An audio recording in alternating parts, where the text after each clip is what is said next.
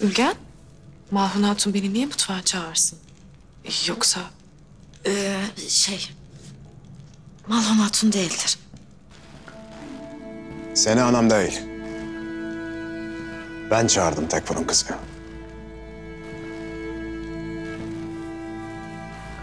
Orhan Bey, Ula Fira. Beni az dinle. Ne konuşacağız? Her şeyi öğrenmişsin. İlk benden duymanı isterdim. Değişen bir şey yok. Sen doğru olanı yapıyorsun. Ula Fira bak. Ben çok düşündüm. Ama hiçbir çıkar yol bulamadım. Devletim için, ailem için buna mecburdum. Ben senin gerçeğini biliyorum. Sana da başka türlüsü yakışmazdı zaten. Ama ben seni asla bırakmayacağım Ula Fira. Hiçbir zaman senden vazgeçmeyeceğim. Bırakmayıp ne yapacaksın? Annen gibi ikinci eşin mi olacağım? Tamam. Ben kabul ettim. Kendimden geçtim. Gururumu çiğnedim. Ya Elçin? O kabul edecek mi? Ya annen? Daha şimdiden bana güvenmiyorlar. Daha şimdiden beni suçlamak için bahane arıyorlar. Evlendiğimizde beni gerçekten içlerine alacaklar mı? Bana gerçekten güvenecekler mi? Hayır. Yine ilk suçlanan ben olacağım.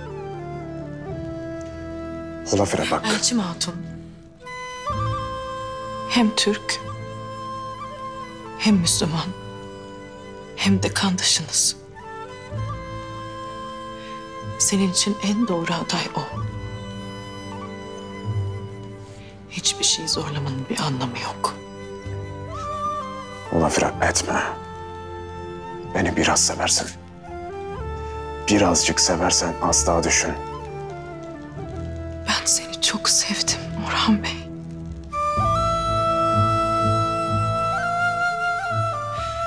Ama bitti. Şimdi sen devletin için, ben de kalem için gereğini yapacağız.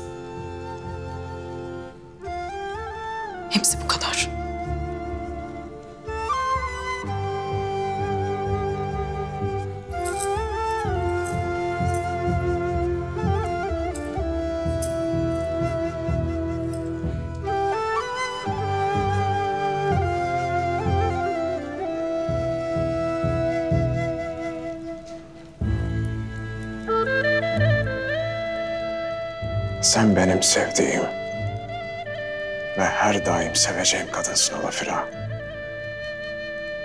Bunu hiç unutma Hemi.